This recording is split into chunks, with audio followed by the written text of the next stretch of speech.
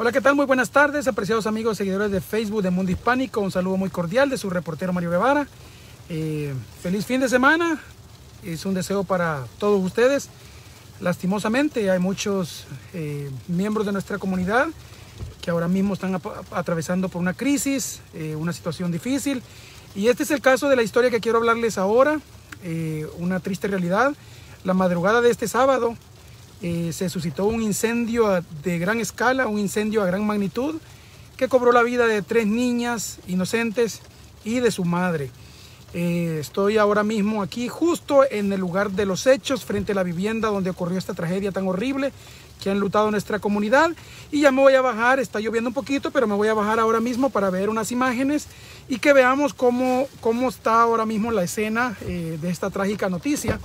Eh, una, sin duda alguna, algo horrible que pasó y que, y que ha dejado luto a nuestra comunidad. ¿verdad? Esta es la casa móvil donde vivía la familia, eh, que justamente esta madrugada ¿no? se vieron afectados por una, un incendio terrible.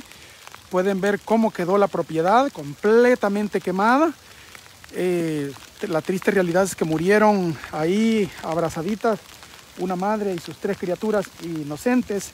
Y pues los vecinos, ¿verdad? Eh, dolidos, han venido aquí a rendirle este, este homenaje a las víctimas. Sin duda alguna, una terrible noticia. Tres niñas, la menor de ellas de apenas 18 meses, eh, perdió la vida en este lamentable suceso. Eh, la policía y los cuerpos de bomberos eh, se dieron cita para apagar el fuego, pero lastimosamente ya era demasiado tarde para la vida de estas personas. Y así fue como quedó la propiedad, completamente quemada. Eh, sin duda alguna, no, es una noticia tan trágica que ha enlutado nuestra comunidad. Y, así están las cosas. Eh, una madre, sus tres niñas, morir abrazaditas en el interior de esta propiedad. Luego de que se incendiara y tristemente le arrebatara la vida a todas en el acto. Vamos a hacer un poco las tomas más, un poco de acercamiento para que puedan ver completamente quemadas. Triste saber, seguramente tuvieron mínima oportunidad, no tuvieron seguramente ninguna oportunidad de librarse de la muerte y pues lastimosamente no, este, sucumbieron las tres víctimas, o a las cuatro de hecho, las tres niñas y su mamá de seis años, la, mayor de las niñas, año y medio la, menor. Y pues les decía que los vecinos han, los vecinos han, le han venido a dejar aquí esta ofrenda de, de flores, precisamente para honrar la memoria de las víctimas de este incidente tan trágico, ¿verdad? Una catástrofe sin duda alguna. En los próximos minutos me voy a dirigir a una propiedad, una casa eh, que está en otra ciudad aquí de Georgia, donde voy a entrevistar al papá de las niñas, al papá de los niños, de las niñas, perdón, y al esposo de la víctima. Y pues, si alguien está interesado en ayudar, quiero comentarles que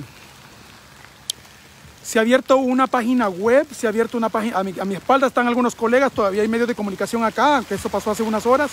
Pero ah, hay una página web que se ha creado en GoFundMe, una página en línea, precisamente para colectar ayuda, ayuda económica que va a servir para darle una cristiana sepultura, una despedida digna a estas víctimas de esta tragedia. Si usted tiene la buena voluntad de ayudar, nosotros le hemos puesto el enlace aquí en esta nota para que usted en, esta, en este Facebook Live hay un link, usted le puede dar clic ahí y ahí va a ver todos los pormenores de cómo poder ayudar a esta familia en esta trágica incidente, ¿verdad? Horrible, horrible incidente, sin duda alguna, que pues ha dejado luto en nuestra comunidad. Esta era el último hogar, esta fue la última morada de, de las víctimas. Pueden ver completamente quemado, la propiedad completamente quemada básicamente sin escapatoria. La policía y los bomberos, todas, las autoridades todavía no han revelado exactamente cuál fue el motivo de este, eh, de este trágico incidente. ¿verdad? Lo que sí han dicho es que tristemente dejó fatalidades, como le llaman ellos en inglés, eh, tres muertes de niñas y la mamá. Y qué horrible percance. Sin duda alguna, eh, otra, otra tragedia.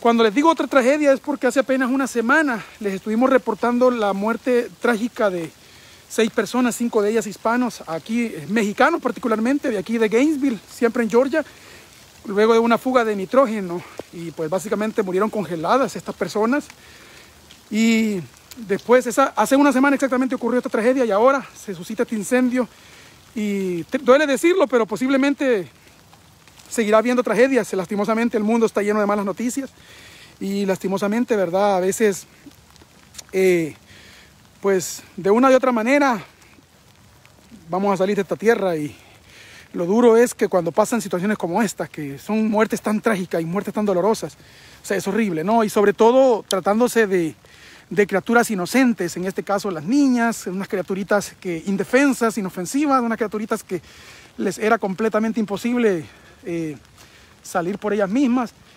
Y pues bueno, así está la situación acá, ¿verdad?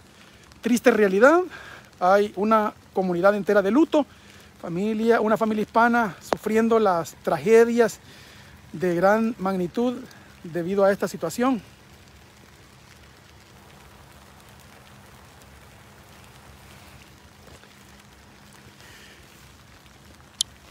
Quiero invitarlos para que ayudemos a esta noble causa, aportemos, podemos ir al enlace que les acabo de publicar y ahí, ¿verdad? Poner nuestro granito de arena, un dólar, cinco dólares, diez dólares, veinte dólares, cincuenta, cien 500, la cantidad que Dios ponga en nuestro corazón puede marcar la diferencia para que se le pueda dar cristiana sepultura a estas cuatro personas. Sabemos de que un funeral es costosísimo y aquí estamos hablando de cuatro al mismo tiempo, así es que los costos que le espera a esta familia son, son enormes. Vamos a ponerle un, nuestro granito de arena. Eh, más tarde voy a entrevistar al padre de estas niñas, al esposo de la víctima y que sean ellos mismos los que pidan ayuda, ¿verdad? Los que hablen con nuestra comunidad y que obviamente que vamos a darle voz para que se expresen su dolor. Cuídense mucho, este es su reportero Mario Guevara. Triste noticia para nuestra comunidad, estamos de luto. Eh, compartan este video y aquí está el enlace con todos los pormenores de cómo ayudar y las identidades de las víctimas. Hasta pronto, su reportero y su amigo Mario Guevara con una muy triste noticia. Compartan este video, hasta pronto.